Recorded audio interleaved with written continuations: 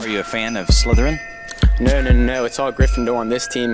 Gryffindor or Slytherin? Hufflepuff, actually. Oh, you know, play maybe some uh, lower class teams like Harvard or, you know, Yale. But we can take them on. We're pretty good.